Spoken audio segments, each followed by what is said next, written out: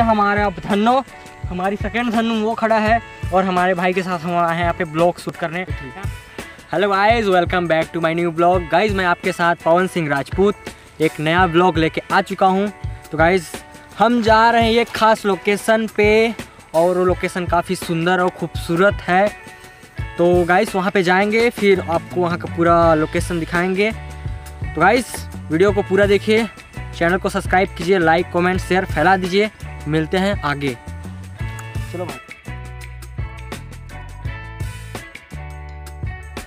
So finally guys पहुँच गए अपने लोकेशन पे। ये हमारा धन्नो हमारी सेकेंड धन्नो वो खड़ा है और हमारे भाई के साथ हम आए हैं यहाँ पे ब्लॉग शूट करने। यहाँ पे काफ़ी यहाँ पे काफ़ी चारों तरफ़ हरा भरा है आप देख सकते हो चारों तरफ़ धान लगे हैं।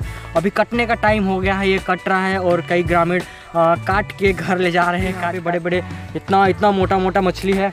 और गाइस सन यहाँ पे हम लोग को काफ़ी अच्छा लगा आने में और काफ़ी लेट कर दिए यहाँ पे आने में। और काफ़ी डिस्कवरी टाइप से टाइप से लगता है फील आ रहा है अपने को डिस्कवरी टाइप से। काफ़ी चारों तरफ़ हरा है, पूरा खर्रा पानी टाइप से दिख रहा है और यहाँ पे आ रहा है। यहाँ पे एक ये ये एक ताला है, जिसका चाबी अपने पास नहीं है। ये गाँव के जो मेन सदस्य हैं, उन लोग के पास रहता है ये। जो ये वाला होता है, जो उस पार पानी पार करने के लिए होता है, जैसे इसको खोलते हैं तो पानी उस पार होता है, इसको हाफ़ खोले हैं, पानी अभी भी जा रहा है उधर। छत्तीसगढ़ टू यूपी तक का ब्लॉग आप तक लेके आएँगे और काफ़ी अच्छा आएगा मज़ा आपको। तो कैसे हो आप लोग?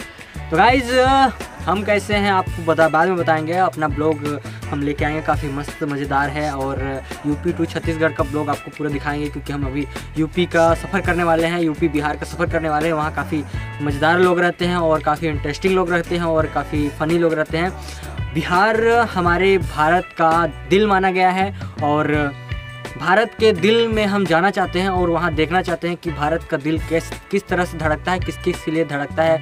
और पटना में कहाँ पे पढ़ते हैं भैया, हम भी थोड़ा ट्राई करने वाले हैं कि पटना में कहाँ पे पढ़ते हैं। सुनने में आया पटना में हर कोने में पटा जाता है और हर किसी को पटा सकते हैं आसानी से और हम भी पट सकते हैं आसानी से।